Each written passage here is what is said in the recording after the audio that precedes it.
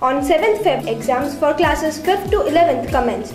They were organized in MPH. Teachers generally do corrections and compiling of results and mailing them to parents, keeping deadlines for picnics and open days for these dates have to be adhered to. Primary teachers compiled all the continuous evaluations data of students accumulated throughout the year.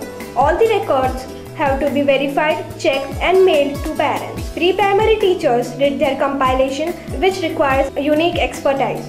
All the three clusters had their own result discussions. Pre-primary had their open day where parents got notebooks and other study material for their wards. We had our pre-primary annual day on 8th February. And we had two guests of honor. One was Mr. Pravin Tulpule who practices being a clown as his hobby and making children laugh. The second was Mrs. Beena Rao who teaches slum children in the evenings. Amidst all the activities, board exams commenced. The students themselves organized a small football tournament on 12th and 13th Feb. As the exams, correction and compiling was in progress, five teachers attended an exhibition on 11th Feb 2015 in Mumbai at Kala Ghoda, a prime location of Mumbai. The theme was Best Out of Waste. On 12th Feb, two teachers attended a workshop on empowering teachers. They were Nisar sir and Nair sir and the workshop was in Ahmedabad.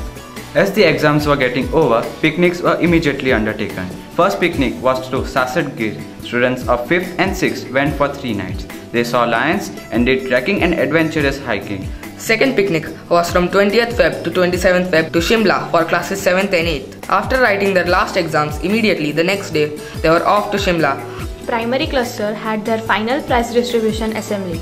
The guests were people from company guest house giving away the prizes. Atul company held Sudoku competition and around 20 teachers from Atul Vidyalaya took part in it. On 23rd Feb, new academic year commenced. The whole week was full of melas. It started with Activity Mela, where students as a team took part in football, drawing, music, and dance. On 24th Feb, a week-long dance workshop by Pappan Sir of Darpana Academy of Ahmedabad was held in our MPH. Also for the two clusters, it was Language Mela, where students had fun with language and its uses. Teachers also gave a shot at feeling like students again. On 25th Feb was the day for Science Mela, where students did experiments of their interest, took part in various science subjects. On 26th Feb, first board paper for class 10th began. It was Maths Mela full of Sudoku, puzzles and problem solving. On 27th Feb, it was Social Studies Mela where elections for cultural captain were held and on 28th Feb, the secondary clusters switched off to the Shimla tour for 7 days.